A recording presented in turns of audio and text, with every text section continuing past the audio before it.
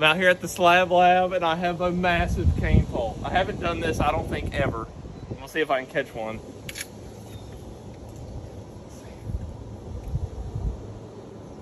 I have a little bit of nightcrawler left. Oh crap. Don't put them back in there. Okay. It's like it's like flipping, bass flipping. Had to set my bobber a little deeper. Oh, that's big. That's a big one, Sarah. I got a big one. Hold on to this cane pole. Oh, flip. oh, I can barely lift it. This thing is huge. Oh my God. Look at this. That's a pound and a half almost. Oh my gosh. I don't want to lose the cane pole. It's sliding. Here, Bubba. Look at this massive bluegill.